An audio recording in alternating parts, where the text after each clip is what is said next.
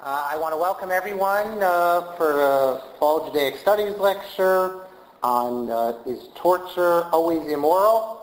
I, I wanted to title it Why Torture Isn't Always Immoral, but I thought that would uh, create too much controversy. We won't be able to fit people in this room. It'd be uh, our, this is the way the program is going to work. Our first speaker, Meir Soloveichik, I'll introduce him in a minute, uh, he'll speak for no more than 30 minutes, followed by Professor Steve Casey, and uh, who is used to speaking for 15 minutes, but we'll keep him more to 15.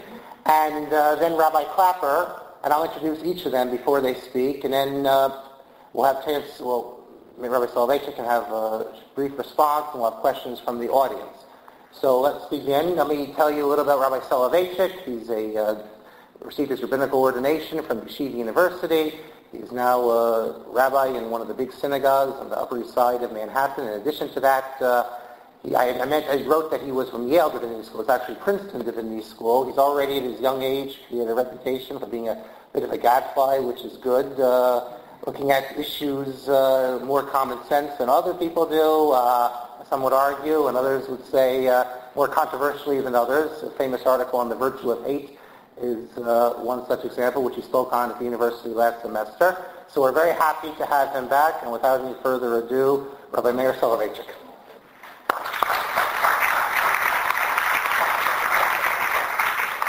Thank you, Mark. Thank you so much. I'm really delighted to be back here in Scranton.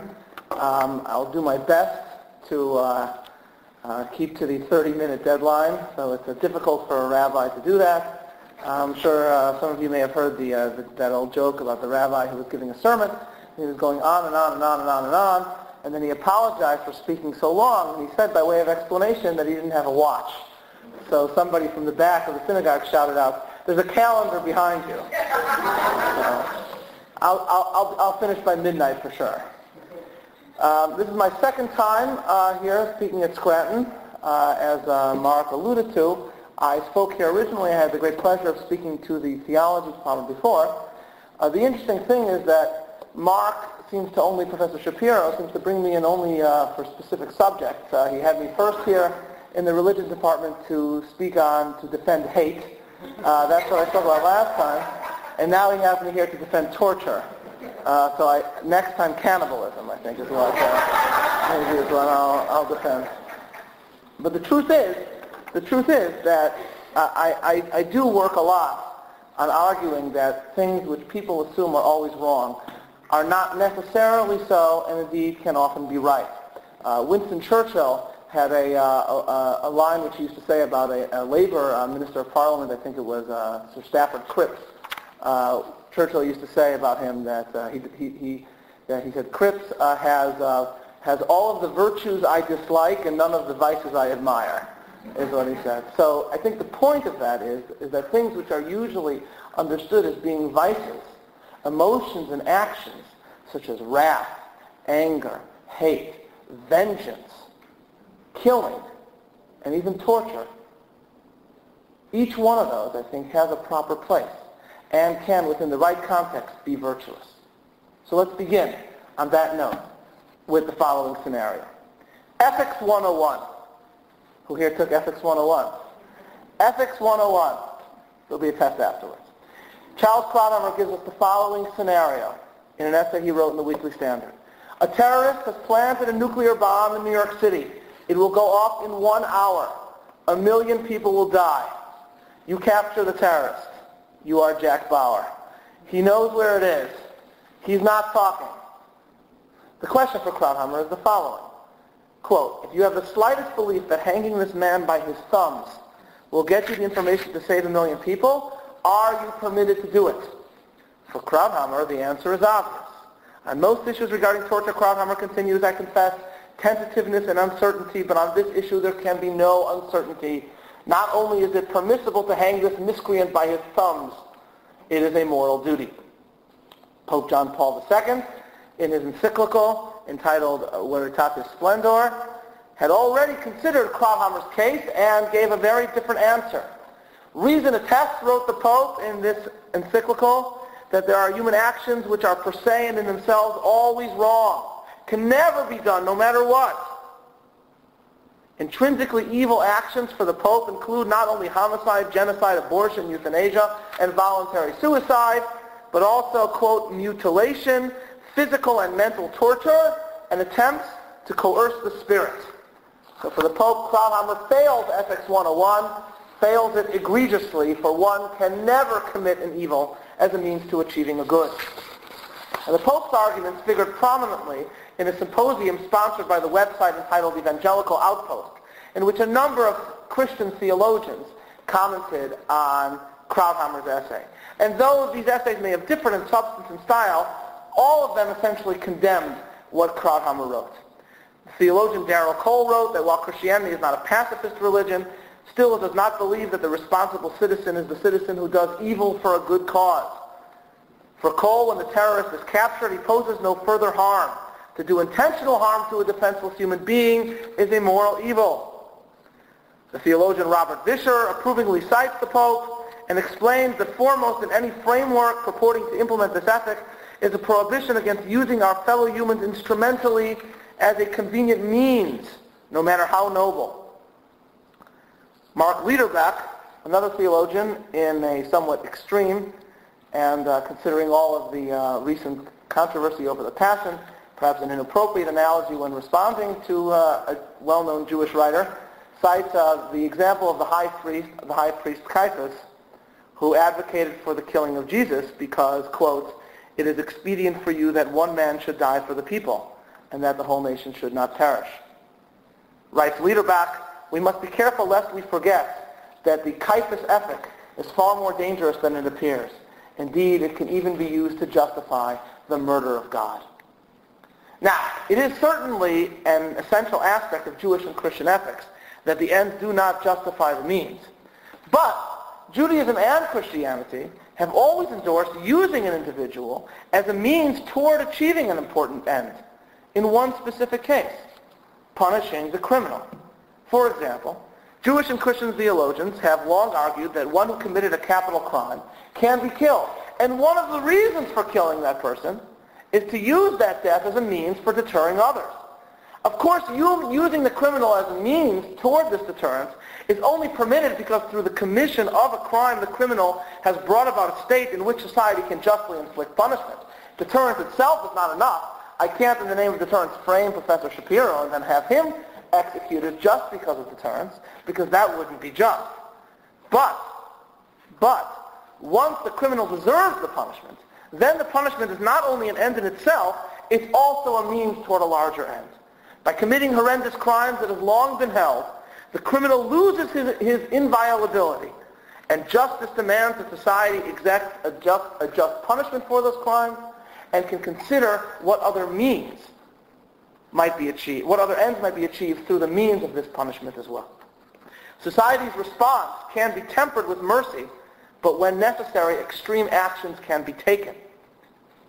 For expositors of the Christian tradition, such as Thomas Aquinas, this punishment is a form of vengeance. God has empowered the government for Aquinas to defend society by serving as God's servants and by exposing those who violate the moral law to God's wrath. This vengeance for Aquinas can take the form of capital punishment or the infliction of bodily pain maiming or bodily beating. Maiming, it should be noted, and this will be important for our discussion, um, is considered by Aquinas not only biblically warranted, but also less severe than capital punishments, reserved for less serious cases of criminality. If somebody steals something, then Aquinas feels maiming might be an appropriate, uh, might be an appropriate punishment. It's less severe than, than capital punishment.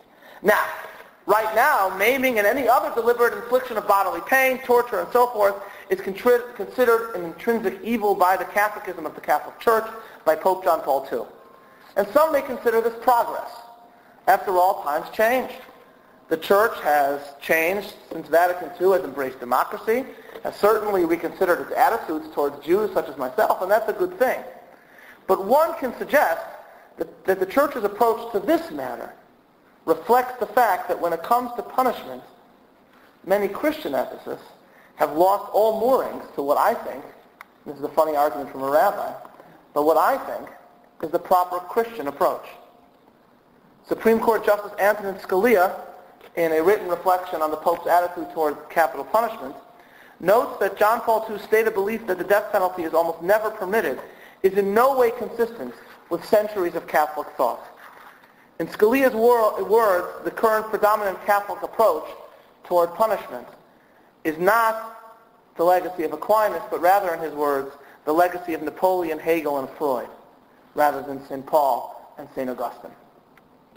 So one could suggest, and I will be suggesting that, that the Pope's suggestion that torture is an intrinsic evil reflects the same attitude that ignores centuries of Christian tradition regarding punishment, and that a complete rejection of torture indicates an inability to understand what terrible people truly have coming to them.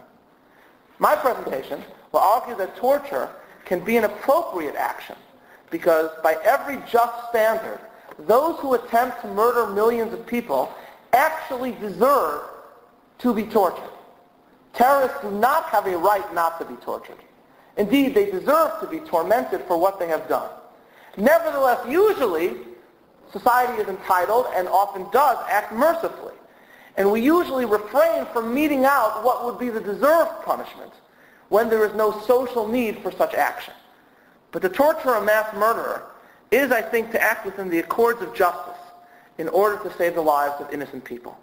Just as one can kill a murderer in order to deter future murderers and save thereby the lives of innocent people. To declare torture an intrinsic evil when even millions of lives are at stake is to argue nowadays what for Aquinas and for centuries of Christian and Jewish ethicists would have been unfathomable, that the government is not entitled to inflict bodily harm upon an evildoer in order to protect its citizens from a danger that the wicked one himself has brought about. What I want to suggest today is that to declare torture an intrinsic evil, always wrong, is to fail to comprehend what terrorists truly deserve and what it truly means to be subject to God's wrath. Now, usually, most of my, most of my discussions of ethics uh, is drawn from the vast writings of my own faith, Judaism. In this discussion, I will also focus to a great extent on Christian ethics, in particular on the writings of Thomas Aquinas. And the reason why this is important to me is that given the influence that Christian ethics has, rightly so, on American moral and political discourse, I want to argue why Christians can agree with my point of view as well. This is my point of view. I'm not, not I don't, I have no illusions that everyone will immediately agree with it, but nevertheless it is a view I, I hold strongly. Uh, I think it was Churchill himself who once, uh, when somebody was speaking in Parliament, uh, Churchill began sorrowfully nodding his head in disagreement back and forth. And the speaker saw him shaking his head back and forth, said to him, he said, Mr. Churchill, I'm merely stating my own opinion. And Churchill responded, and I am merely shaking my own head. So um, feel free to shake your head in dismay as I proceed now to justify torture, both based on the Jewish tradition and on the Christian tradition. From antiquity, Jews and Christians have insisted that there were certain acts that were intrinsically wrong and cannot be performed even to save human life, whether it's one man or a multitude that's in danger. Thomas Aquinas in the Summa Theologica lists three actions that are in his view intrinsically evil and can never be done even to save innocent lives. Murder, sexual immorality, and lying. Now for Jews, the last one, I always had a big problem with that. The notion that it would be wrong to lie in order to, say, protect the Jew from the Nazis is, I think, absurd. But the Mishnah, the, the, one of the original uh, sources of Jewish law, insists that there are three sins which can never be done. In the yeshiva, in the Jewish schools where I went, these were known as the big three. Okay? So what are these? Idolatry, then sexual immorality, adultery, and or incest, and and then murder are always wrong and never permitted. For Jewish law, these acts are yahared va'al ya'avor, which means be killed and do not sin. And though the Talmud sought scriptural support for the intrinsically evil nature of adultery and idolatry, when it came to murder, they said that this, was, this needed no scriptural basis, that it was philosophically and morally obvious that one could not kill someone in order to save someone else or even a multitude of other people. It is a matter of logic, said one sage. Who is to say that your blood is redder than that of your fellow man? Every human being is inviolable. This is one of the axiom of Jewish Christian ethics. Every person is, is of infinite value whose life cannot be traded even for 100 others or 1 million others. Nevertheless, even as Jewish and Christian scholars insist on, on, on the inviolability of the human person, they also insisted on the permissibility and even at times the duty of ending the lives of egregious evildoers. It is in the Bible one of the first post-diluvian proclamations. He who sheds the blood of man by man shall his blood be shed. The reason given by the Bible, the value of the poor creature killed. For in the image of God he created man. Hebrew Scripture's acceptance of just punishment and of capital punishment is incontrovertible. As Avery Cardinal Dulles has noted, the Mosaic Law, quote, specifies no less than 36 capital offenses calling for execution by stoning, burning, decapitation, and strangulation. It doesn't mean that it was meted out often, necessarily, but the possibility is there. Here, the objective importance of just retribution is stressed by the Bible. When it comes to punishment, the Bible says, why ought one to kill a criminal? The evildoer should be destroyed, eradicated from your midst. There is an objective importance in punishment. At the same time, the Pentateuch also insists that punishment is not only an end in itself, but also a means to, the, to another end. All Israel will see and hear the punishment, we are told in Deuteronomy, and they will not sin again. So here we're introduced to the idea of punishment as deterrent and protection. The notion that punishment allows us to consider not only the justice of the punishment itself, but also its utility. Now, of course, Christians could claim that they reject this entirely. That after the Passion, man's sins have found their atonement for Christian theology. Christ has been crucified, the temple tapestry torn, a law of love is now in effect, and perhaps everything that Hebrew Scripture says for Christians about punishment is not normative in any way. But for Thomas Aquinas and for our own discussion, the critical passage in Christian Scripture can be found in Romans, in which Paul describes the government as acting as God's representative in punishing evildoers. He says, If thou do that which is evil, be afraid, for he beareth not the sword in vain, for he is the minister of God, a revenger to execute wrath upon him that doeth evil. Wherefore ye must needs be subject, not only for wrath, but also for conscience sake. Now, for Aquinas, what's critical to an understanding of this passage is not only Paul's obvious approval of bearing the sword, and we all know what bearing the sword means, more on that in a moment. Also, important for Aquinas is the, is the apostle's explanation for why the sword is wielded the executioner is, in his words, a revenger. In other words, capital punishment is a form of permitted vengeance. And though the Bible tells us that we're not supposed to commit vengeance, that Aquinas says, and here he's quite right, that that only refers to personal and petty vengeance. And this the Jewish tradition has long stressed. But to vengeance as a form of justly deserved punishment, then in Aquinas' words, and I quite agree, vengeance may be lawful. But if every human being, as I just said, is created in the image of God and, and is inviolable, then what justifies the killing of a criminal? Aquinas himself asked this question. And he answers in the Summa that by sinning, man departs from the order of reason and consequently falls away from the dignity of his manhood, insofar as he is naturally free. As such, he falls into the slavish state of the beasts by being disposed of according as he is useful to others. In other words, Aquinas says that by acting like an animal, human beings lose their rights of inviolability. And therefore their lives can be eliminated, and in the process of being eliminated, that punishment can be utilized as a means towards another end. Now this striking statement by Aquinas has provoked any number of modern commentators. So for example, John Finnis of Oxford, a well-known writer on Aquinas, is very much perturbed by what Aquinas says, that one can kill a terrible criminal because by committing the crime, he loses his right of inviolability. He notes that Aquinas himself believes that criminals have some rights, that we're supposed to love criminals, even evildoers we're supposed to love. So how could Aquinas say that? So Finnis suggests that really Aquinas is wrong and reflecting a strong uh, line of thought in Catholic thought today, including that of the Pope, he suggests that really perhaps capital punishment is not right.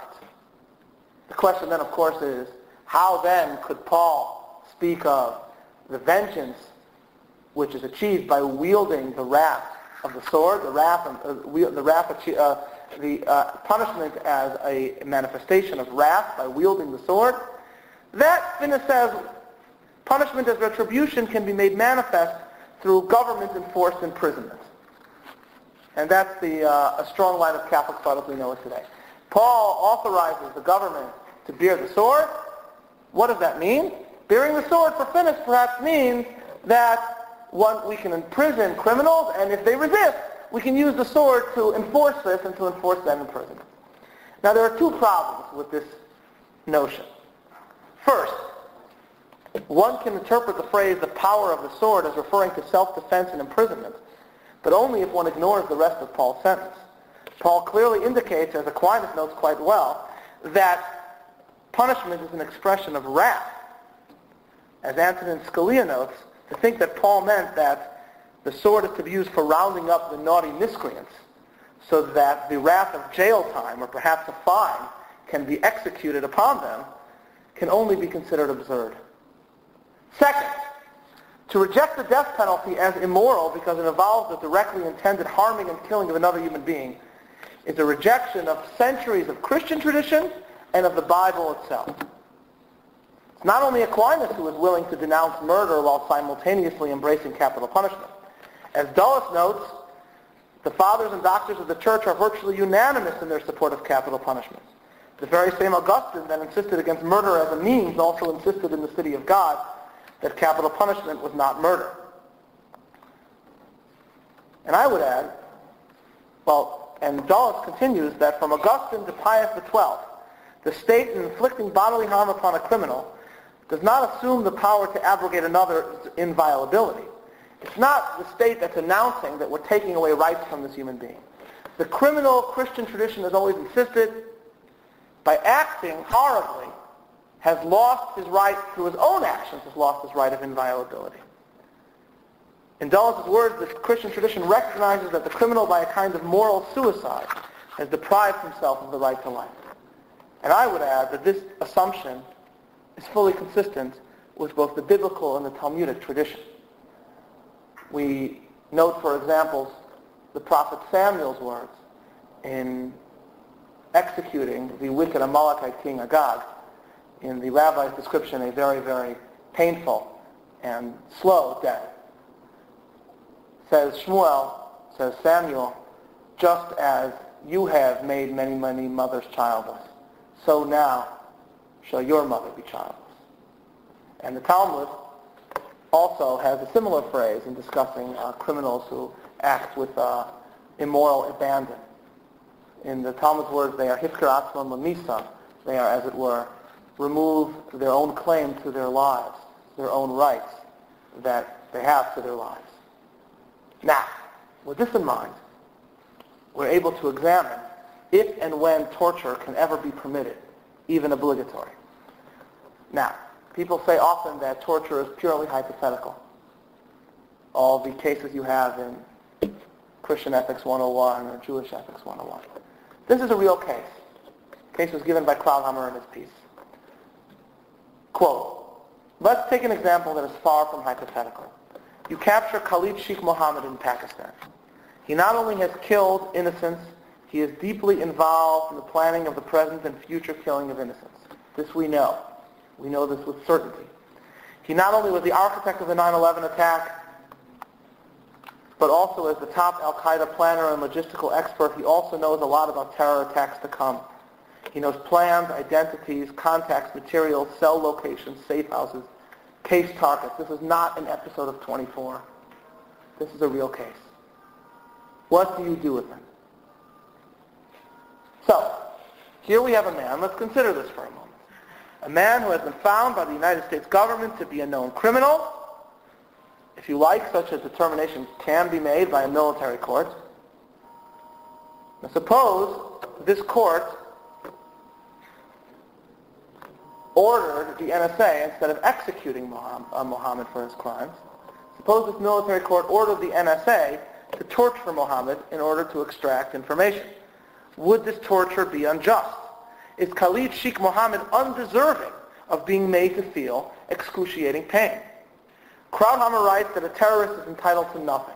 Quote, anyone who blows up a car bomb in a market deserves to spend the rest of his life roasting on a spit over an open fire.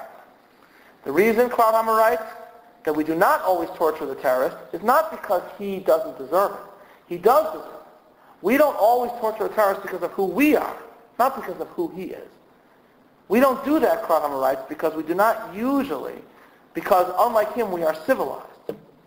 No one can deny, Krauthammer adds, how corrupting torture can be to the individuals and societies that practice it. In other words, we refuse usually to torture terrorists or mass murderers, not because of what it would do to the terrorists, who richly deserves to be tortured, but rather because of what it would do to us. For though society is entitled to make manifest the wrath of God in the form of physical punishment, this power is subject to their discretion. As we have noted, punishment is an end in itself as well as a means. Its primary purpose is retribution, but it's also meant to serve the secondary purposes of rehabilitation, deterrence, and protection. So we temper our own justice with mercy often, depending on these needs, depending on the needs of society, depending on whether the justly punished criminal can be utilized as a means to a proper end. And this point is made by Aquinas himself as well. In discussing sins committed by an entire community, Aquinas notes that Scripture seems to indicate that only certain members of society ought to be punished. On the other hand, in other instances, God releases his wrath upon entire cities, such as Sodom and Gomorrah. Aquinas answers that depending on the need, the extent of the punishment can vary. When the whole multitude sins, he writes, vengeance must be taken on them. Sometimes, however, if there's hope of many making amends, then the severity of vengeance should be brought to bear on a few of the principals, whose punishment fills the rest with fear. So justice, in other words, is tempered with mercy, but only at times. If the desired ends can be achieved with a limited punishment, then mercy can be appropriate. But if severity is called for, then it is severity that must be chosen. If it would be more damaging to the social order to bring about vengeance upon a criminal, and if society can be protected through a less severe punishment than torture or capital punishment, then perhaps we are to refrain from vengeance. But when millions of lives hang in the balance, and the infliction of severe pain is the only way of protecting the social order, then we torture the terrorist until critical information is procured and society is saved. And then we can be and then we can afford to be merciful once more. The torture of a terrorist is permitted because it is a form of punishment. In times of great need, we mete out to the terrorist what he deserves in order to procure for society the safety that it deserves. So what are the arguments against torture? Why am I wrong? The arguments against torture, as far as I can tell, put forward by Jewish and Christian theologians who would disagree with me and think what I'm arguing is quite horrible, seem to be as follows. First, one might argue that even though capital punishment, execution of a criminal, is long established as moral in Jewish or Christian ethics, perhaps torture is worse than that. That even were we to condone execution, nevertheless the infliction of intense physical pain is worse than capital punishment and never a proper penalty. This, it would seem, is the current position of the Catholic Church, whose Catholicism allows for the rare possibility of capital punishment when deterrence requires it, but rules out torture as inherently immoral, exceptionally wrong, always wrong. Torture, writes the Catechism, which uses physical or moral violence to extract confessions, punish the guilty, frighten opponents, or satisfy hatred, is contrary to respect for the persons and for human dignity. For the Catechism, causing bodily harm is worse than killing him. And this is, in today's day and age, an unsurprising point of view, but it is also contrary to both Jewish and Christian traditions. The Bible reserves execution for the most severe crimes, but endorses the possibility of infliction of bodily pain for lesser crimes.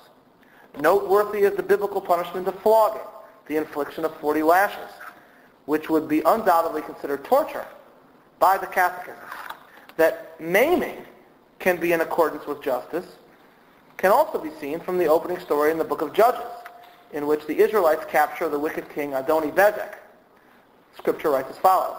Adoni-Bezek fled, but they chased after him and caught him and cut off his thumbs and big toes. Then Adoni-Bezek said, he said, this is just. Seventy kings with their thumbs and big toes cut off have picked up scraps under my table. Now God has paid me back for what I did to them. It's therefore unsurprising that Aquinas, in his endorsement of justly deserved execution, has no problem with justly deserved maiming. Interestingly, the Talmud itself insisted that even when, when Scripture says an eye for an eye, it's not to be interpreted literally, usually, and instead monetary payment must be made. But on passages such as these about Adoni-Bezek, Aquinas himself justified the possibility of maiming, and it never ever occurred to him that the infliction of bodily pain while keeping somebody alive is more severe and worse of a punishment than killing somebody. So what is the rationale behind this assumption? The idea that society, that a society willing to kill someone must still refrain from torture. One argument that has answered this question was penned by Andrew Sullivan in a New Republic uh, essay responding to Krauthammer. In his essay entitled The Abolition of Torture, Sullivan attempts to explain why inflicting bodily harm upon criminals is worse than killing them. And he says as follows, Torture is the polar opposite of freedom.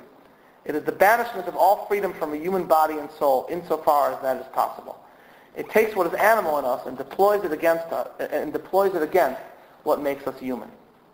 Now this is a perfectly respectable reason to oppose torture, as long as one is willing to oppose all forms of capital punishment as well.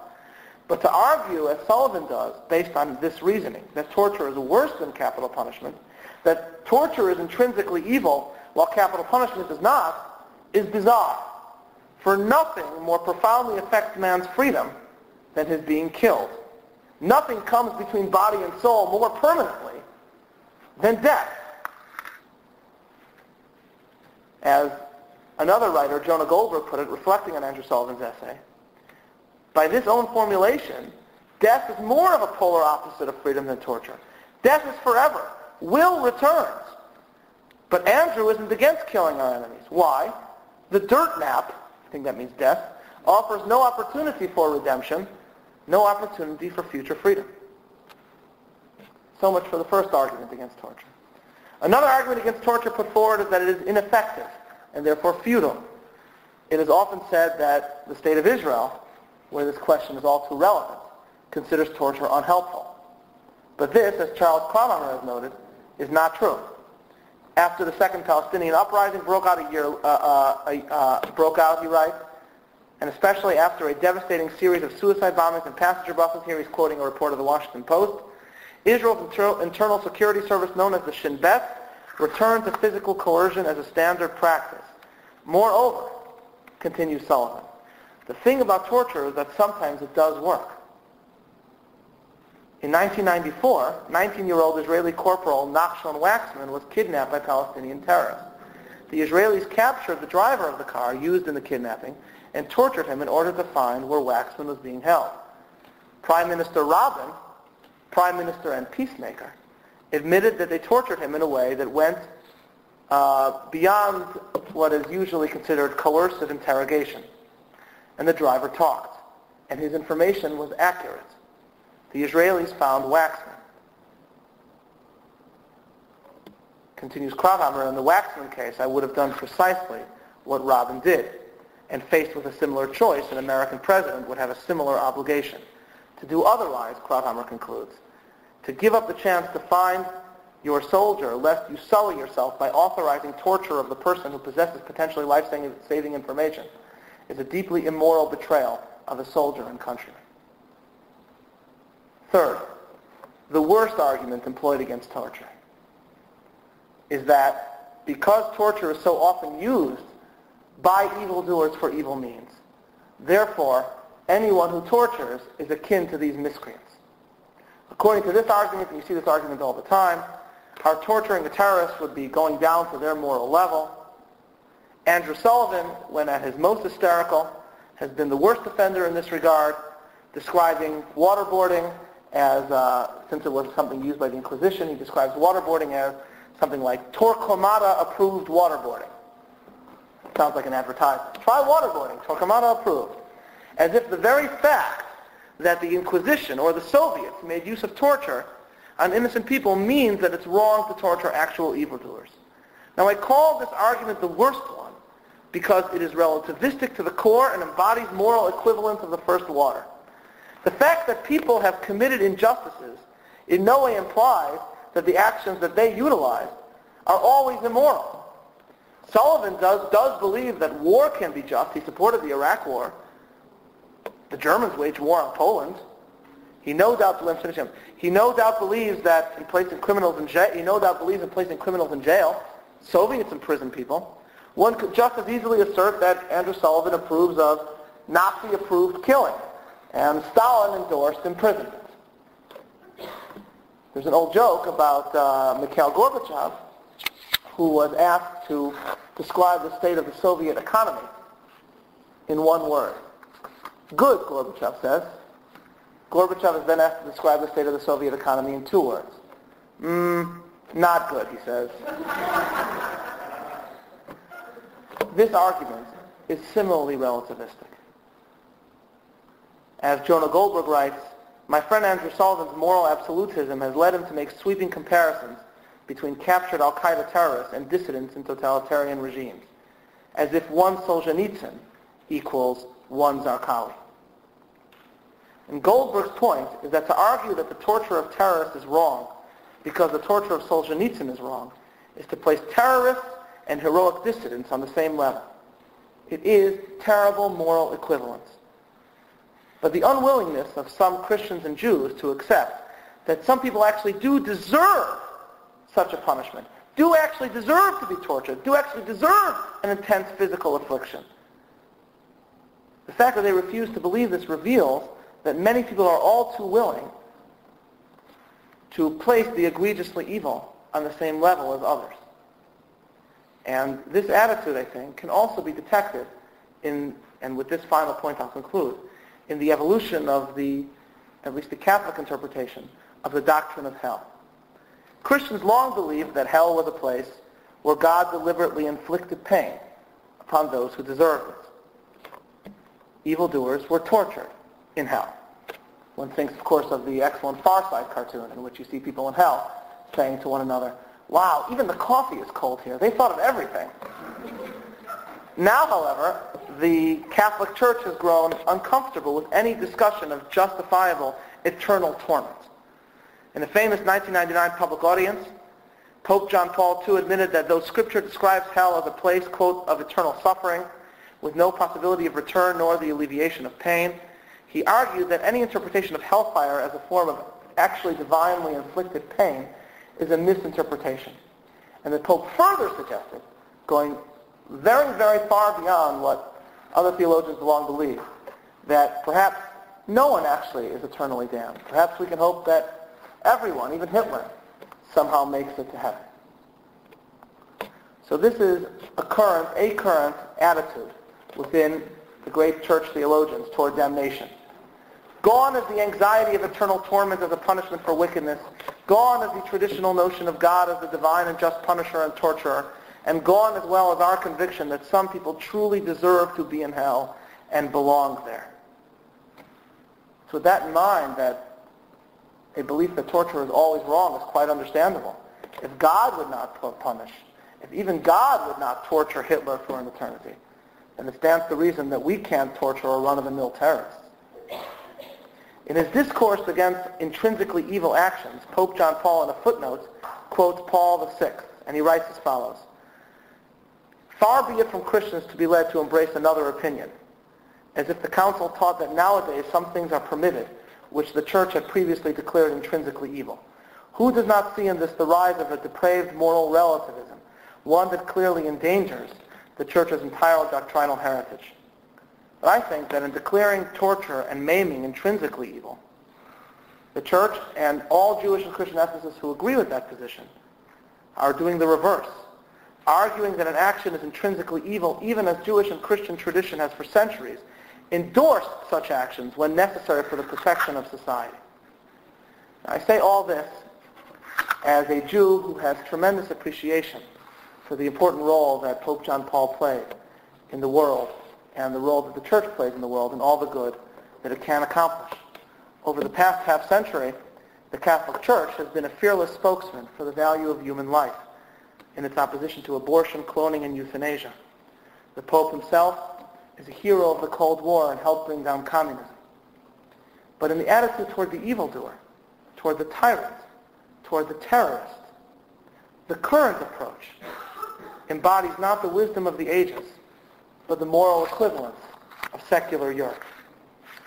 One can only hope that Benedict XVI, along with Christian and Jewish ethicists, other Christian and Jewish ethicists, will reacquaint those who are ready to surrender to evil with the traditional concept of God's wrath and with our human responsibility of acting as God's messengers in visiting pain and suffering upon those who wish to visit pain and suffering upon us. Thank you for having me.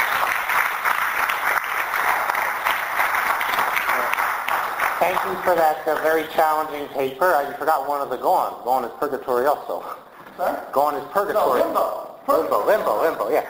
Uh, now we're going to have a two, as I said, two brief responses. Uh, first, our very own Professor Casey, the theology department, uh, teaches ethics, and uh, without further ado, Professor Casey.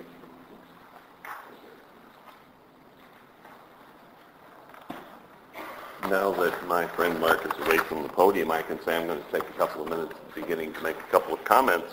One is to thank him for the marvelous way that he's run the Judaic Studies program over uh, a number of years. I think he has shepherded it along beautifully.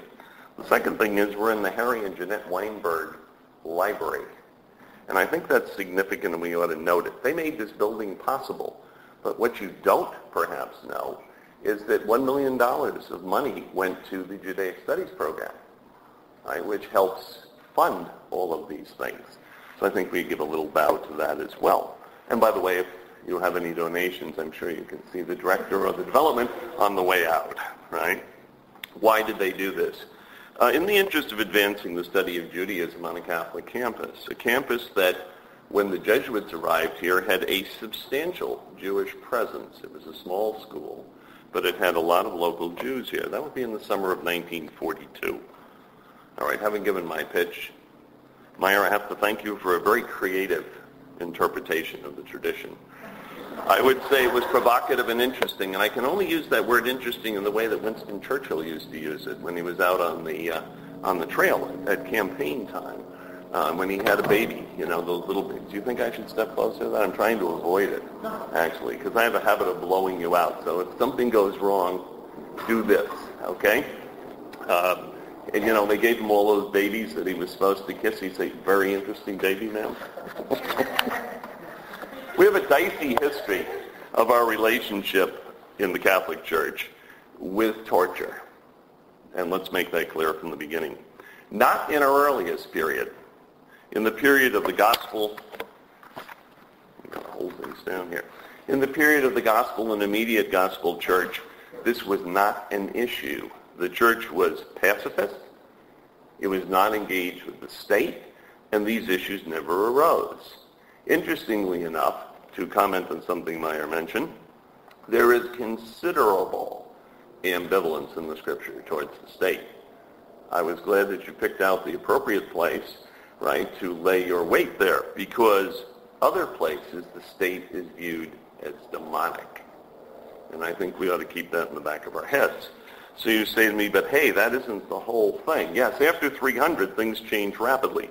That word change, by the way, I wish to come back to. We find church and state hand in glove. And the Roman Catholic Church begins to approve of capital punishment, justified war, crusades later on, and of course, torture.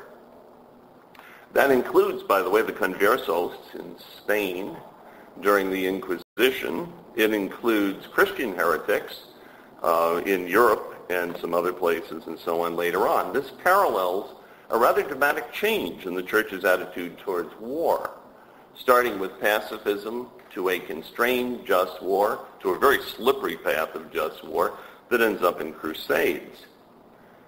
I wish to talk very much about the period 1960 or so on, but let me indicate to you that we have problems with the issue of torture presently.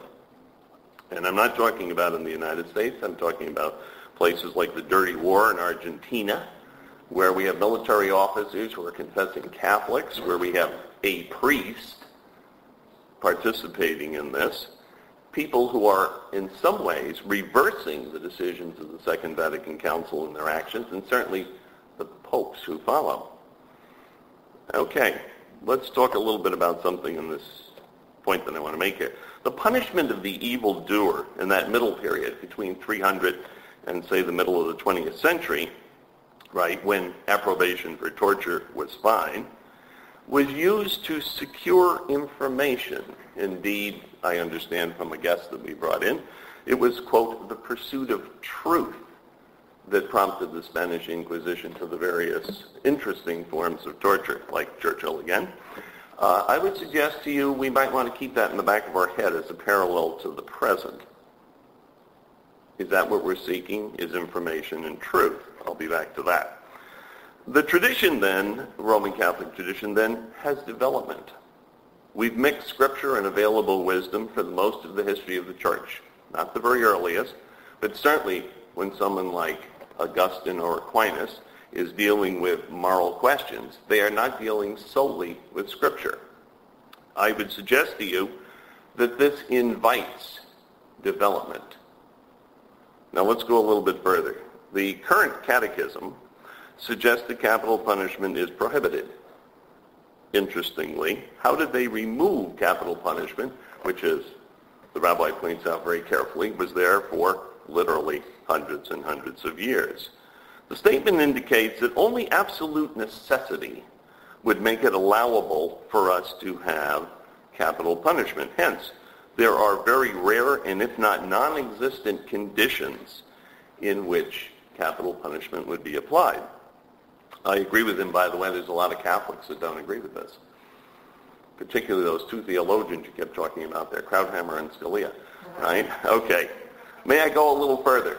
The question of vengeance is not present in the conversation from Vatican II on. The question of punishment is something else, and obviously they regard punishment as being the isolation of the guilty party and so on. What else changed? Well, you noted it. The document on religious freedom in the Second Vatican Council, the thinking of which began right about this day in 1963, yes, and finished with a document, Dignitatis Humanae Personae, in 1965. A substantial move forward that I suspect some of my fellow religionists still regret. I don't, and certainly the mind of the church doesn't. So what happened in post-Vatican II? Other changes. It is interesting to observe a considerable interest in human rights, something that the Catholic Church was not known for before that the virtue of solidarity. Right? John Paul II is very well known for this. But if you were to look up the Compendium of the Social Doctrine of the Catholic Church, published in 04, you would see numerous references to that, including, by the way, on the subject of terrorism, war, internment of people without end, and so on. Are they thinking of Guantanamo? I don't know. So peace to Antonin Scalia. We are really discussing 40 years of Catholic social teaching, not merely John Paul II, but also John, John the 23rd, Paul the 6th, bishops' councils, uh, excuse me, conferences and synods, one after another. We see whether he is discussing with international leaders or with Catholic groups, such things as the Sacrament of Reconciliation, John Paul II repeatedly suggesting attacks on solidarity shatter the world. at its very foundations. Torture would. I just want to do a little sidestep, and you'll see in a moment how these things sort of fit together. The alternate tradition, I'm thinking of things like the Geneva Conventions, built on just war doctrine, mandated by what is sometimes called in books the new international law, that was in the 1700s, right, rose out of religious traditions, the wars of religion, and the rise of the modern state. What I find interesting about that is that this particular tradition resonates clearly with the Catholic tradition since the 1960s. And yes, the Common Article 3 supported by such notorious left-wingers as Senator McCain, right, uh, would stand right there. Now, why does the military not want torture? Let's talk a little bit about kinds of reasoning. As the rabbi suggested, a good deal of the material that we find, and I'm talking here about the catechism, the uh, compendium and so on, is actually deontological reasoning. Let me apologize. Um, I'm a teacher, and I always stop to explain what some of these words mean, and I'm probably patronizing a large number of you. But it comes from the Greek word deos, which talks about rule. And most of this reasoning is based in a theory of duty and moral obligation. To put it another way, it's non-negotiable kinds of things in the street. Deductive reasoning. If you look carefully in the catechism, you find, as you appropriately mentioned, the question of defense, the common good, but you also find what I was talking about in regards to capital punishment. And if you look at 2297, there's a test on this next time, so get the numbers down, right? You will find comments about torture and terrorism, both of which are paralleled and both of which are prohibited. That's not the only way of doing reasoning, and I know I can be quickly accused of being the lawyer that says, my client is not guilty. My client is guilty, my client is not guilty the way you thought my client was guilty, right? But I will talk about casuistry on the other side. The practical, case-oriented type of operation that we could call casuistry. It's practical. Sometimes it even sounds utilitarian which is a dirty word in both of our traditions, I think, sometimes, right? I would like to make a couple of points about moral assessment here. In casuistry, or whatever you want to call it, utilitarian approach, I would suggest, contrary to what the rabbi says, torture is counterproductive. Curiously enough, Richard Cohen in the uh, Guardian Weekly at one point put torture is a beast with a rapacious appetite. I see, it seems to me it is very difficult to prevent abuse and expansion of torture.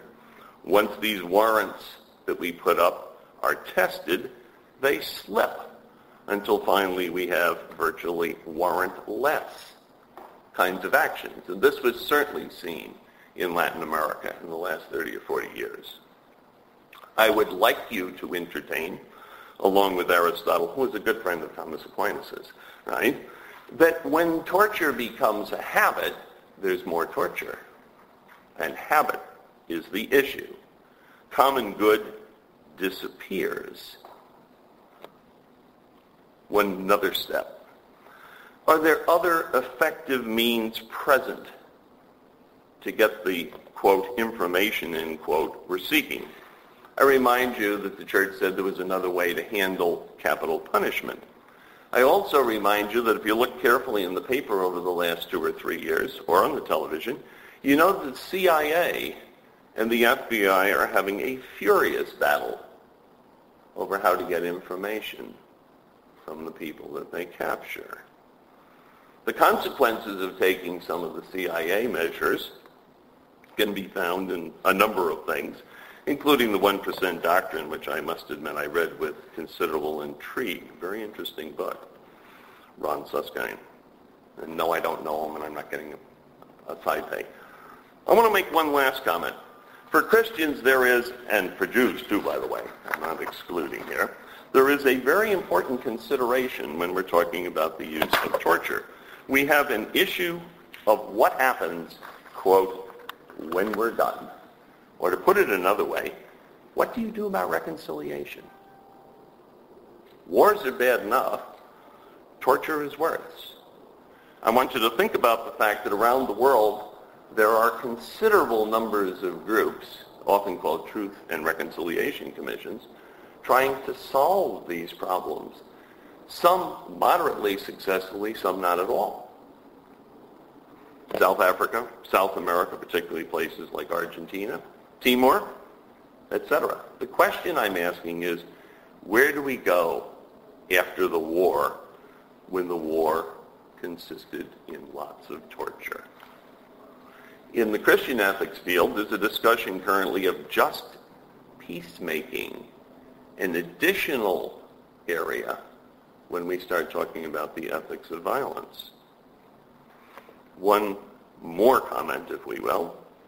I would like to separate the actions of the Almighty from the actions of the civil society, Meir. Period. Okay? Then I will go on after that. Um, the theologian, uh, George Lopez, he's out at the University of Notre Dame, says we should be very careful. He said this on the event, on the this year's anniversary of 9/11, to avoid the ethics of Dirty Harry. And I think I want you to think exactly there. I know college students never any time to go to movies, so they didn't see any Dirty Harry movies, but, you know, you get the idea, right? What does he mean? He says we depart from normal ethical restraints to use means that will protect, excuse me, will protect us from additional attacks, and in the process end up flipping the whole means and consideration that we started with. Hmm. J. Glenn Gray, in a classic now called The Warriors, 1959. A World War II soldier, all over Europe for I think four years, right? A teacher of philosophy when he came back commented that we have to preserve our nerve. He said the problem, and this is true as it was in 1959, is that we're starting a cycle of armed peace, quote unquote which actually, of course, isn't peace at all. We prefer to perish by caution rather than taking the path of risk for genuine peace. So sometimes we have to carefully, and I say carefully, engage the situation in which we take risks for peace. Suskind makes a very good case in his book that going totally out to attempt to stop all attacks often produces the opposite. So what's Gray saying? There we go. May I make one last comment to those of us who are in schools and so on? In all places, on the back of the Chronicle of Higher Education, for those of you who don't know it, it's a trade journal, if you will, a man by the name of Andrew Sahl, S-A-H-L, uh, in November of 05 last year, a professor of public policy at UCal LA commented, and I'll just give you the title of the article on this whole conversation, and Mr. Krauthammer too, by the way. The title of the article reads, Torture as a Case Study, How to Corrupt Your Students. And I don't need to go any further. Thanks. Thank you, Meir.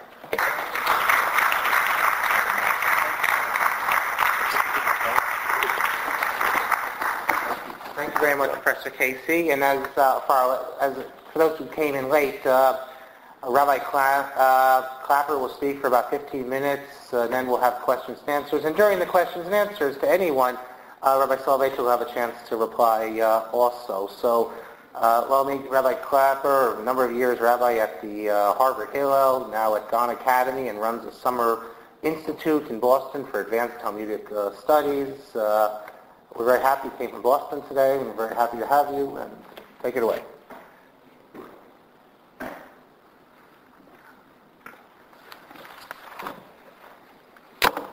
I want to uh, thank Dr. Shapiro very much for inviting me.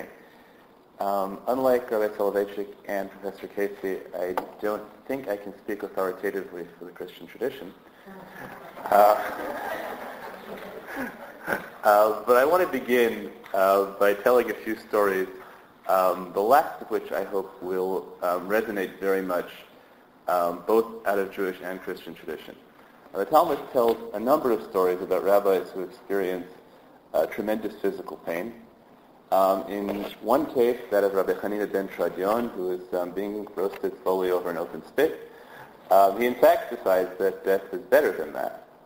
Uh, another case, that of Rabbi Judah the Prince, um, his maidservant decides, and with, with, the later approval of the, uh, at least the editors of the Talmud, that death is better for him than the lingering illness he has. So I think that first of all we have to acknowledge, um, at least rabbinic tradition admits that there are fates worse than death. Um, we can then decide whether specific instances of torture meet that criteria.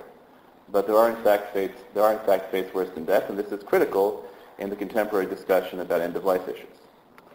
Um, but the story I really want to focus on is the death of Rabbi Akiva, uh, one of the great Talmudic sages. Rabbi Akiva um, dies in a, um, a, means not yet utilized by the CIA, uh, by having his by, by having his uh, flesh comb, his flesh um, flayed off with hot combs. Um, at the um, now the Talmud has this sort of um, time travel science fiction scene in which God shows the death of Rabbi Akiva to Moses, uh, and Moses' reaction is horror. And he turns to God and he says, "This is you know Rabbi Akiva, great sage. This is Torah, and this is its reward." And God gives a reply which initially seems highly opaque. God tells Moses, be silent because thus it arose before me. What does that mean, thus it arose before me? Um, so the 20th century um, Orthodox Jewish ethicist, Rabbi Leo Dessler, gives what I think is a brilliant interpretation of this. He says there is another place in rabbinic literature where something is referred to as coming up before God. And the very, in the beginning of the creation of the world, um, we are told that God intended to create the world with justice, pure justice. But he saw the world could not survive. So he joined justice to mercy. And that's our world. And this is um, the rabbi's explanation as to why the names of God are different in the first and second chapters of Genesis. Because the first chapter of Genesis is the, the way the world would have been had, it had God only created it with justice. The second chapter describes the real world in which mercy and justice are combined. So Rav Dessler says that um, really all human beings should seek to live in a world of strict justice. Because a world of strict justice is one in which we are wholly accountable for our actions. Mercy deprives us of dignity because there are actions, right, which are simply forgiven. We can't be held accountable for them.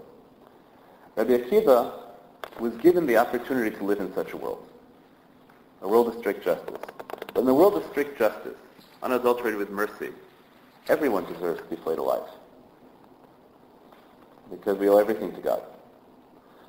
So I'm extremely nervous about arguments which are predicated on the assumption that we can do things to people because they deserve them. Um, for example, right, as the Aristotle points out, there are no fewer than 26 crimes for which the right for which the Torah prescribed the death penalty. Are we willing to, for example, torture adulterers um, order to, right, um, to get information? Um, right? I, you know, I, I think, I, I think there are many for we can go through the list, the list of crimes, and so the notion that we can engage in um, that we can engage in independent judgments aside from our, the traditionally the mandated penalties as to what punishments we can inflict strikes me as tremendously dangerous. Because it might be that even the punishments ordered in the uh, in the Torah are reflective of mercy. And really it might be that people, for example, wear wool and linen together deserve to be maimed. And therefore, if information is necessary, we should be able to maim them. Um, right? I think it's very, very important that we restrict penalties specifically to those that are, that are legally permitted. And I want to put this in a broader context. Um, Soloveichik points out, um, I think, compellingly in, in many cases, that there are people who have forfeited their rights to life, and possibly their rights to be treated with any modicum of dignity. Um, so there is a, a, um, a, trope which I'm not sure I always agree with, but um, I'll make use of here, uh, which is that regard, that usually the distinction is made between Christianity and Judaism on this axis. I don't presume to speak for Christianity. Um, but Judaism at least is a religion in which duties occupy as, as important a place as rights. And so the question is not so much whether someone has forfeited their right to life and dignity, but whether we still owe them a duty right, to preserve their life and treat their dignity. In this regard, um, I think that the halakha is quite clear that even right, that even criminals, even the worst criminals, still are owed duties. They're owed duties of burial. Uh, they're, owed duty, they're owed duties of being of being executed in the least right, in the least severe way, even those who are subjected to flogging may not be subjected to one more lash right, than, is, right, than is judicially mandated. Um, the notion that because someone is a criminal and deserves punishment, that therefore they forfeited all rights, maybe. But just because they have forfeited all rights does not mean that we, have, that we no longer have duties towards them. Okay, but even this argument being accepted does not lead us to the conclusion that torture is always wrong. Um, and I should begin by saying that it's not clear to me that Jewish law believes that there is any such thing as something which is always wrong, with the possible exception of idolatry. Um, even adultery might perhaps be permitted to save large groups of people as opposed to individual people, and certainly, right, and certainly killing is permitted. Um, right, killing somebody who is threatening someone else is not only permitted but mandatory. Um, it might be argued, not unreasonably, that if it is permitted to kill somebody who is right, who is menacing someone else with death, then, as we would say in the Jewish tradition, kal vachomer, all the more so, um, it should be permitted to torture them. Now, there is, so far as I am aware, no explicit discussion of torture as such in um, in Jewish tradition, and we have to acknowledge up front that definitions of torture are socially dependent the things which are considered, you know, as with cruel and unusual punishment, and um, which I think, um, with apologies to Justice Scalia, whom I often do agree with, uh, I think cruel and unusual punishment is a category that clearly has to um, has to change societally. Um, the only discussion that I'm aware of is the um, late 18th, early 19th century Rabbi Jacob Ettlinger, who makes the really radical claim that while it is permitted to kill someone who is menacing someone else, it is not permitted to utterly deprive them of their dignity. Right? He actually takes the position that somebody you could shoot, you could not humiliate publicly. Now, I'm not sure I'm willing to go that far, uh, but at least raises the possibility in Jewish tradition that um, right that torture is right, torture defined as treating a human being in a way which utterly deprives them of dignity is um, is worse than death. Um, but I would not wish to make my argument depend on that because I think that's um, a highly questionable um, extension of the tradition. The tradition says that humiliating someone publicly is tantamount to murder. Um, saying it's worse than murder is novel. Um, I do, though, want to address, um, I think, the, the issue that Rabbi Soloveichik brings up and really needs to be taken on head-on is what he refers to as the Ethics 101 case, um, the case that Charles Krauthammer brought, brought up, uh, the case that fundamentally all um, all advocates of all horrible things want to do eventually bring up, which is to say, right, if you had a choice between committing this horrible thing and saving a million people from dying from dying from the nuclear weapon, and we could make it worse, right? We could do this horrible thing or save a million people from roasting slowly over open spits, uh, right? Or in the uh, in the tradition of religious coercion, you can do this terrible thing or save a million people from burning in hell forever.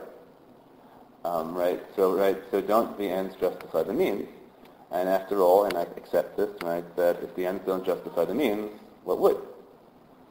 Um, right? And I don't think Jewish tradition um, agrees that one can never commit an evil to do a good. Um, if it accomplishes a greater good, then it wasn't an evil, largely. Um, but uh, I do think that there are a number of points that have to be made. Uh, one is that one does always have to be tremendously careful to consider the effect on one's own soul of making such decisions. Um, the Jewish tradition has numerous examples of people who did the right thing for the sake of a greater good, and their souls were, were nonetheless damaged. So one always has to be, one always has to be careful um, to consider the consequences. But I don't even want to go there to defend it because I would agree that if there was, if I could save a million people from dying in a nuclear war, and the result was that my soul were slightly damaged, that the, it might very well be my moral duty to sacrifice my soul for the sake of those million people. Um, but the question, but um, let's take the Krauthammer case. Let's begin um, by setting, Krauthammer set up the case in a way which is designed to throw a lot of images at you and get you to agree this case is obvious. He takes Khalid Muhammad, who is, um, right, who is presumed to be the worst, the mastermind of the worst terrorist attack in, right, in recent, recent memory, right? And you presume that you know this absolutely, right? And you presume that he had, and right, and you know that he has information about planned attacks, and you know that you cannot prevent these attacks any other way, right? And you're going to engage in the in the in the um, in the process of waterboarding to get this information, and you will discover, and you will discover that this information is in fact true, um, right? And you won't waste your efforts tracing down false leads because he's already planned how to respond to torture by sending you to efforts which will waste all your agents for years and years and years. And you'll say that. Now, first of all, I would argue if we're using an ends justify the means, I don't think Krauthammer has really the slightest interest in Rabbi Soloveichik's argument this is about retribution. Um, because the truth is, let's suppose Khalid Muhammad had not yet planned the 9-11 action. So Khalid Muhammad was only planning to have this nuclear bomb go off. He has not yet committed any crime at all, except conspiracy. In neither Jewish nor Catholic tradition, right, can he be, right, can he be subjected to any punishment whatsoever, which is not immediately designed to save those lives. Right? It's not a question of what he deserves. Um, or let's suppose that in fact the information, right, that in fact um, Khalid Muhammad put this information um, in a way where it's encoded in, it's encoded in somebody's DNA in a way which you can only extract it, right, by killing the person. Right, he's right launched right, he's launched a right, he's, he's created a, a biochemical weapon which is going to be released unless this person is killed within a month. I don't think the morality of Krauthammer's argument depends very much at all, and I don't think he would say it depends very much at all on Khalid Muhammad's specific guilt and whether he specifically deserves to be roasted over an open fire or not. Nor do I think that he thinks we should make these calculations when right, it's only Khalid Muhammad and not Khalid Muhammad's fourth in command who happens to be an imbecile. Right? Um, right? And, do we, and how do we make these determinations that there's some people who deserve to be roasted over an open fire for a year, other people only for six months? Right? So we can torture them less. Um, I'm, I'm not at all, I'm not convinced that all the retribution plays a role. And I don't think that defenses of torture really, uh, really are retributive arguments at all. I think that fundamentally they are, are utilitarian arguments that the ends justify the means, and that's a reasonable argument. I think it takes thought to try and figure out why it is not true that I can sacrifice one person, however innocent, to save a million, if in fact it is true. Um, so I want to give two arguments on that end, and um, then I'll be done. Um, the first argument is um, responding to the anecdotal evidence that uh, Krauthammer um, cites, um, right? That this in fact worked, or that it worked for um, that it worked for the Israelis in the case of Nachshon Waxman. Now, let's say you have a broken radio. Okay, now broken radios can sometimes be fixed by banging them repeatedly. And each of us can give anecdotal evidence of times in which we have fixed broken radios by banging them repeatedly. Uh, but radios also often break by being banged, by being banged repeatedly.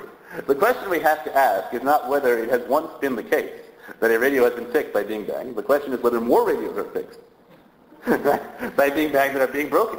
And the fact that the radio was fixed by being banged does not mean the radio cannot also have been fixed by having a technician called. Uh, right, so the fact that torture worked in a specific case right, is not, right, work, the fact that torture produced information in a specific case does not prove the information cannot have been gotten some other way, does not tell us how many times torture fails to work, and, right, fails to work in, in, um, in, in, other cases. Um, and um, what I would say is, and here I will descend to quoting myself, if I can find it, if I can, um, if I can uh, find it. Um, the ticking bomb case is always cited by advocates of torture. Um, but, but as the American legal proverb has it, hard cases make bad law. Um, in real life, the, the alleged terrorist would not have been tried, so we wouldn't know for sure that they were guilty. And in fact, Khalid Muhammad has not been tried. Right? Not, right? By the standards of American law, no one has any idea if he was the mastermind of 9/11 or not. And if we, right, if we, right, in almost all the cases of ticking, right, ticking bomb cases, are all cases in which there is no time for trial. And one of the things, well, it's true that Jewish law endorses capital punishment. It endorses capital punishment. Um, the, the, standard rabbinic opinion is right once every seven years, right, a court could execute somebody and could meet the standards, according to some rabbis. Uh, other rabbis think never. Um, other rabbis think that it's important to deter, but the standard opinion is once every seven years, perhaps. Um, secondly, um, right, secondly, most of the time, right, at least right, the terrorists will respond by lying. You have no way of knowing whether the terrorist has been broken or not. There will always be individual interrogators who believe that they know. But you have no way of knowing whether those interrogators are right or not. Um, But now here, here I want to make one, one important distinction. There is a difference between ethics and law. Um, right?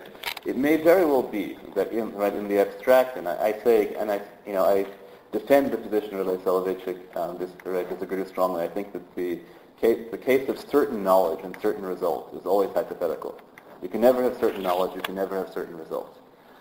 Um, but I'm willing to say that if, that if after the fact, right, someone came to me and said, I tortured so-and-so. As a result of torturing so-and-so, they gave me the information, which enabled me to find the nuclear bomb, right, which saved, right, which saved the people. And all these stages steps are unsure. In the, right, the case in which Soloveichik cited where the Israelis find the soldier, he dies in the attack. You never know, right? You never know what the consequences of your actions are going to be. Um, right? Even in that case, they got the information. The information was accurate. It still didn't yield the, the desired result. Um, in such a case, I might recommend promotion rather than prosecution. Um, but um, but the well, when one is making law, right, one cannot right, one cannot make law out of these out of those wild hypothetical cases. When you make law, you decide what should be legal, you have to decide what will do the most good in the most number of cases.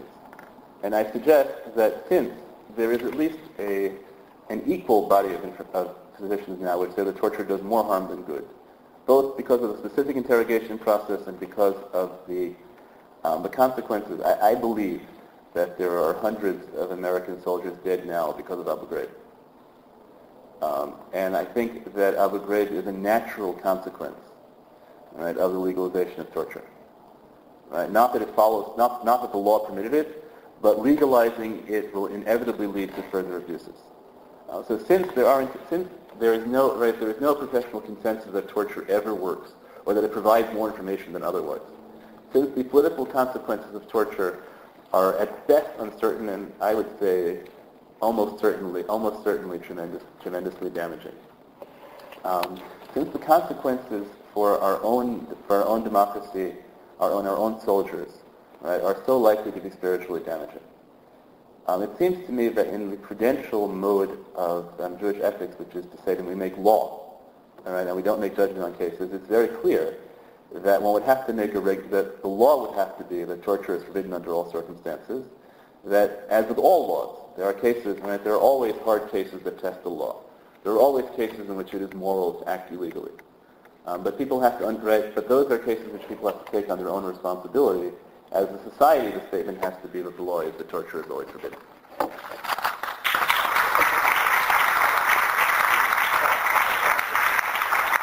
Thank. I want to thank you very much uh, for that last presentation. I think all were very interesting and exciting, and we have time for a few questions uh, directed to any of the speakers, comments, questions. Uh, so who would like to begin? Hard to imagine that no one has... Uh, okay, uh, yes. Who, who's it addressed to? Okay.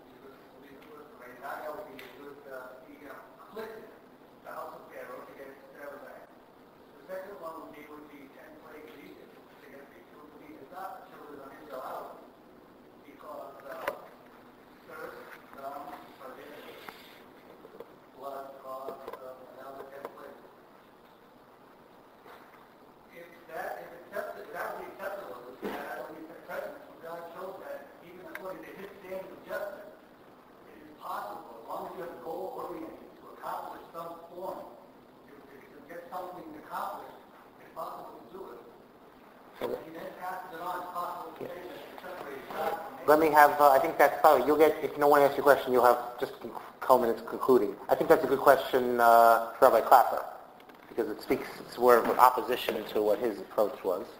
Um, it's, it's, a good question. Um, it's a question that I think is uh, tied up in the whole notion of what it means to imitate God. Um, right? There's a very, um, there's, a, there's a really interesting Talmudic statement which says that just as God is merciful, we should be merciful. Just as God is kind, we should be kind. Just as God buries the dead, so too we should bury the dead. All sorts of things like that. Um, the problem is that God doesn't just bury the dead. God kills the dead. Right? And God isn't right. And God isn't just merciful. God is cruel. Um, right? All all the right. So I think that um, at least Jewish tradition has made a very conscious effort to say that the goal of the human being is not to be God. Um, and there are things that God does that we don't, that, that we say God has the right to do, and we can perhaps do when God tells us specifically to do them. Right? We can carry out certain punishments when God authorizes us to do them, but I don't think that means that everything, you know, God brings famine. Right? I don't think that justifies Stalin, uh, right? Stalin and starving the collectivist farmers, right? For, right? For, for a greater good. I think that using, right, using divine action, using divine actions as our models, except when our tradition tells us specifically that these divine actions are supposed to be modeled in specific ways, um, is, um, you know, I, I, would say I would describe it as, you know, as an act of um, spiritual arrogance overall, and I, for myself, it would be scary to conceive of myself as capable of doing everything God can do and having it come out right. Kelly, do you want to ask a question? Anyone else? Sorry, that wasn't Huh? Yeah. Kelly has a question, and then we'll hear from the rest of us, I guess. You want to go? I actually, uh, one of the major concerns I had, I don't lot of them, but one of the major concerns was the epistemological issue, right, which you brought up, I think, really well. And I wonder what your response was to that. Come up here. Yeah, come up here. And since that's, I guess, the last question, everybody saw that you reply to Kelly, and then I know you have some comments on the others, and then... Don't give all the comments now because that, that's an important, important question. Um, let's begin at the beginning. And I'll begin, uh, first of all, I want to thank both the other participants on the panel. It was a joy to, uh, to participate. It was incredibly invigorating uh, and really, really very, very fascinating discussion. Um, we can start with the epistemological point if you want it's not just anecdotal evidence. If you look at the Krauthammer discussion, Krauthammer notes, uses that one story about the Waxman uh, boy as an example of what the Israeli policy became after the starting of the Second Intifada, by which they themselves believe that they have prevented numerous attacks. That's what Krauthammer's point is. Krauthammer says Yes, everyone always says that in Israel, even in Israel, where they experience terrorism at a rate that we don't experience, the High Court banned terrorism, banned torture. And that's true. And then Krauthammer then goes on to say, yes, the High Court banned torture, and then the government brought it back after the starting of the Second Intifada. When they had terrorists boarding buses and blowing up children, they found this to be an effective way of stopping this. One of the tools which has now brought all of those bus bombings effectively to an end. I remember going to Israel three years ago. There was a bombing every day. Now, there have been many different factors. I'm not saying torture is the, the magical solution that'll, that'll, that'll fix everything, if only. Um, of course that's not true. But the government has been using it to great effect. Khalid Sheikh Mohammed is one American example as I think uh, somebody was quoting the Guard, uh, Professor Casey quoted the Guardian. I think it was the Guardian itself that reported that the the plot uncovered not by the Bush government, of which many of the torture critics are very suspicious, but by the Blair government and by British intelligence. That was brought about. All that that plot uncovered in London just recently. That was also uncovered through uses of coercive uh, coercive uh, mean? Khalid Sheikh Mohammed, the administration claims that it's prevented, helped to prevent numerous attacks. If you don't want to believe them, I do believe them. I do believe they actually care about procuring our safety first and foremost. But if you don't want to believe that administration, we have another case in England. Now, of course torture doesn't always work. Of course it doesn't. Will sometimes people lie? Of course they will. Will mistakes be made? Perhaps mistakes will be made too. But let's take war as a parallel. War is a very good example. Let's say we think we know where certain terrorists are hiding in Afghanistan. And they want to target it with, the, the, the U.S. military wants to target the terrorist base with missiles and blow it up. In Afghanistan. Okay? Is this something that most people in the United States would support? Absolutely. Now, is it possible, has there been a trial for those people? An American-style trial with cross-examination? No. But assuming they're guilty, and we think they are, do they deserve getting the missile, getting uh, hellfire rained down on them from above? Not by God with Sodom, but rather through our missiles? Of course they do. Is it also, but is that, can that be spiritually damaging to a soldier? Engaging in war, engaging in acts of killing? Of course. Is killing an act that its consequences, now, suppose the missile, as has happened, suppose the missile instead ends up killing innocent people, right? Bill Clinton, when it came to Al-Qaeda, tried to kill Osama bin Laden, right? Hit a factory. Possibly left of the janitor was killed. Is that a tremendous tragedy? Is that one life of infinite value? Of course it is. But does that mean because we're worried about the state of our souls that we don't engage in acts of killing without trial sometimes based on the intelligence that we think we have? Of course we do. Now, is killing somebody more, uh, uh, killing an innocent person worse than temporarily inflicting great pain? The story that Ray Klapper cited about uh, death was worse than pain was somebody who was, was about somebody who was dying. Of course, somebody could say if somebody is dying that this, he wants his life to end. But that's not the torture we're talking about. Waterboarding, and I'm not saying it's not torture. I think the Bush administration is wrong to say, oh, this is not torture. They should say it is torture, and we're proud to do things in defense of our country. I think that would have been a better electoral strategy than this one. I do. No one would have stood in the ballot box and said, no one would have stood in the ballot box and said, well, so, Andrew Sullivan would, but, uh, but uh, no one would have stood in the ballot box and said, Bush will torture terrorists in order to save my children? I'm voting Democratic. No one would have said that.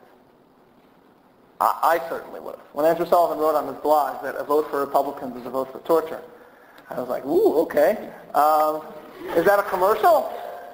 Not because I believe in torture all the time, but because it has its place. So all of these arguments, all of these arguments, arguments that it can hurt our souls, arguments that sometimes it hurts innocent people, based on these things, forget about torture. Torture is only a, a, a temporarily terrible thing done to an innocent person if it's done to an innocent person.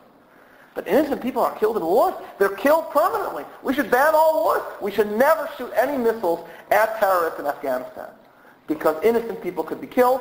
And not only, even if innocent people aren't killed, the souls of the soldiers will be inevitably sullied by that action. The same argument can be made, only much better in that case.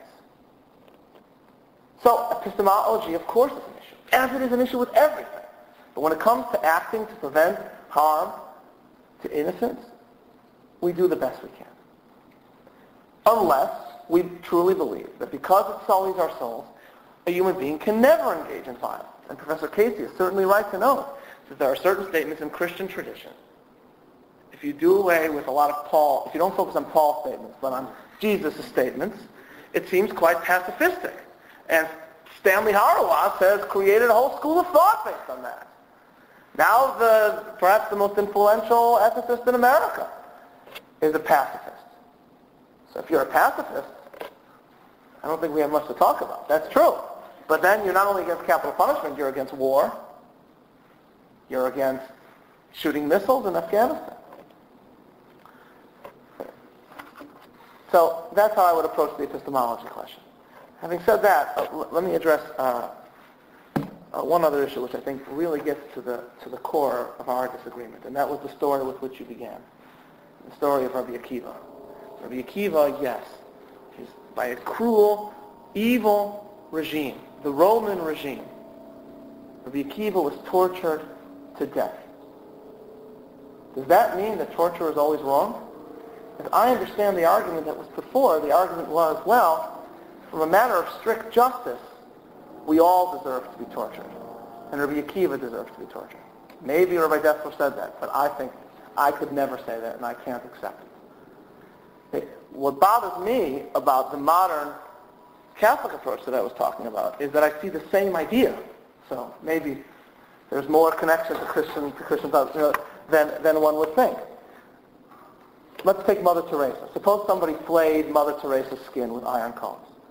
Would, would somebody say that from a perspective of strict justice, she deserved that? Maybe she would say that, but I wouldn't say that. I wouldn't say that it's only because of mercy, because of God's mercy, that she doesn't deserve it. Rabbi Akiva was tortured? Yes. Did he deserve to be tortured? No. Why did God allow him to be tortured? I don't know. But not because he deserved it. And when little children die in the world, it's also not because they deserve it. Why do they die of terrible sicknesses sometimes? I don't know. Is, is from matter forget mercy for a moment, from a, pattern, from a, from a perspective of strict justice, are Rabbi Akiva and Hitler the same? Do they equally deserve to be tortured? I could never say such a thing. And that's what bothers me when I see modern, so what bothers me about your statement is what bothers me a lot about modern even very conservative Catholic discussions about hell. Richard John Neuhaus, a man who, whose writings I like very much, when he argued for the concept that we can truly hope that no one is in hell at all. Um, so he says, well, what about Hitler? Maybe Hitler, shouldn't Hitler at least be eternally damned? So he says, no. He said, well, maybe Hitler had thousands of years in purgatory and, now, and then he goes to heaven. Or maybe, he said, Hitler is just like a little dog in heaven to whom we all condescend, but he's very happy to be there, even though he doesn't deserve it, just as we are all happy to be there, even though we don't deserve to be there. If you believe that, if you believe that all human beings are inherently evil in some way, that they all deserve, that they're all in some sense, at least from the perspective of God's justice, leaving out his racham and his mercy, that they all deserve this, then yes, perhaps something, you could disagree with some things I said. But it's precisely because I don't believe that that that that that that, that I'm saying what I'm saying. Precisely because I believe that Khalid Sheikh Mohammed and and and other mass murderers are inherently and morally, from God's perspective of justice from our perspective of justice, much worse and deserve much more punishment. That's why I think torture can be a just approach when there's a, a, a, a when there's a social need. Thank you. This obviously is going to be continue to be in the news, and I want to thank all of you so much for a very intellectually exciting and informative evening. Thank you very much.